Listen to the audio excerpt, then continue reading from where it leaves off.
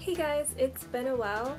Uh, I feel like this is going to be a standard phrase in every single cooking video of mine, but um, tonight I'm going to be making fettuccine alfredo, but the kick is that it's going to be made with tofu instead of um, the really heavy cream and butter and however you make it um, regularly. But um, yeah, so it's just like a block of tofu and some milk. You can use soy milk. Um, of course, there's going to be Parmesan, which is going to be kind of like the main flavor base. Um, I guess you can make it fully like vegan or vegetarian, no vegan, if you use like the vegan cheese, but I've never actually tried those kinds of cheeses. So I don't know how it tastes. Um, I don't eat cheese in general, but I do like Parmesan. It has like a really nice flavor and you don't have to use a lot of it. Um, so yeah, we're going to be making that and we're also going to be using uh, tofu shirataki. So that's even healthier than just your regular pasta noodles. So it's a really low calorie dish if you guys are looking for that. Um, oh, and I also want to say that tofu is just in general, it's a great substitute if you want to have something a little bit creamy but not too unhealthy. Um, just recently I made a Caesar dressing and I used tofu instead of um, all the bad ingredients. Um, I also made a mock whipped cream with tofu, um, just a little bit of milk to thin it out. Um, not too much to have it like really runny, but um, I added stevia and a little bit of cinnamon and I topped a pumpkin pie with it and it was freaking great. But yeah, um, that's all I wanted to say. So if you guys are interested, now you should continue watching.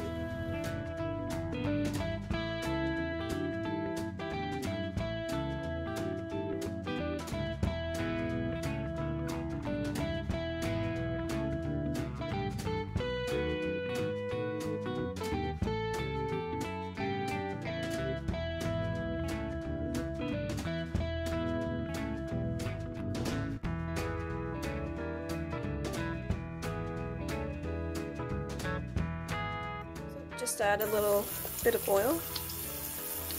And you can use butter for a little bit more flavor. And we're just going to saute the onions. Make sure um, the onions don't get too brown because um, we don't want to caramelize it because we're actually going to blend this in the, uh, tofu mixture.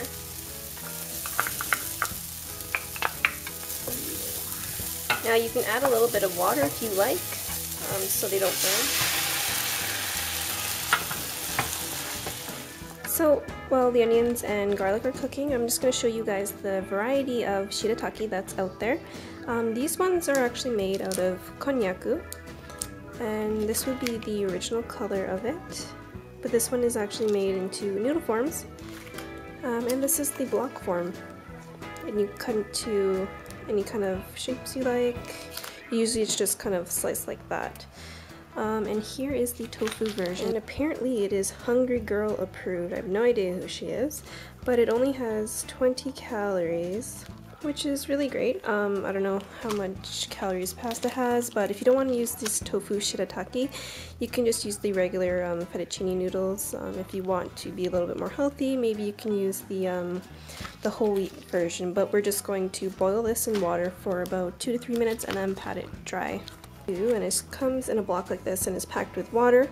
This is the smooth kind and it is a bit firm. There's also the silken tofu, which um, usually I use for more custards, but this one I want the sauce to be a little bit thicker, so I did get the, I think this is a medium. I don't know, there's also a firm kind, but you probably want to get the smooth medium tofu. And we're just going to use one block of this. Now what I usually do for um, the tofu that I don't, like I have the remaining tofu, I would just keep it in a Tupperware and I put like a little bit of water in it. So I just want to show you guys how smooth this tofu is.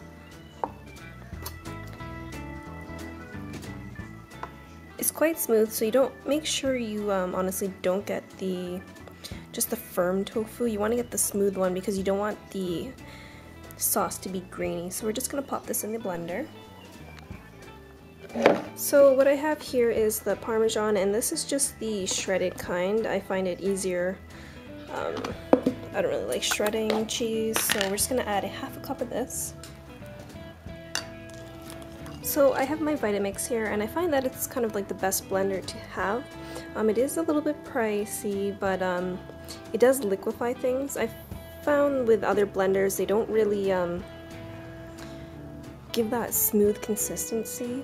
Um, things still are a little bit like grainy, but um, we're just to add the onions and garlic, and I'm just to thin it out with a little bit of skim milk. Um, not too much, maybe like max quarter cup, but I mean you can just blend away and see if you need any more. So I'm actually to add a little bit of chicken broth, or chicken stock, chicken powder, whatever the hell you call this. um, and that's to give it taste. Um, you can add seasoning salt if you like, and salt and pepper, but I add the pepper at the end, and herbs are to be at the end as well. You can garnish it with parsley if you like, or maybe even basil, but I'm just to add that for now. I think the consistency is pretty good. I didn't add that much milk. Let's just see it.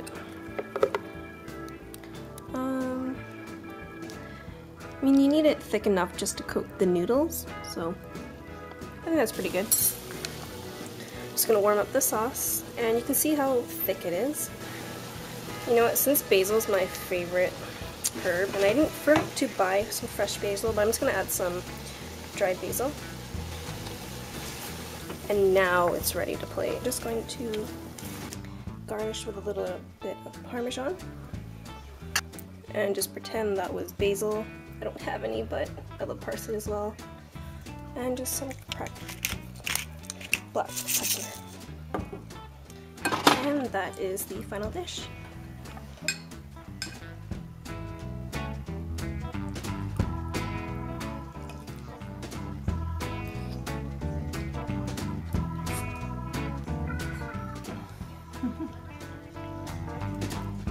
Wow, this is the first time I've tasted uh, tofu shirataki and it's actually pretty good. Definitely, I'll probably substitute it for regular pasta.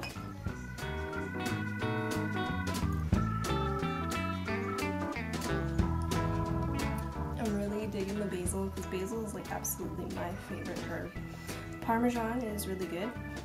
Um, I haven't had uh, Alfredo sauce in a really long time, but you know what? This actually tastes like Alfredo sauce, like the real stuff. Wow.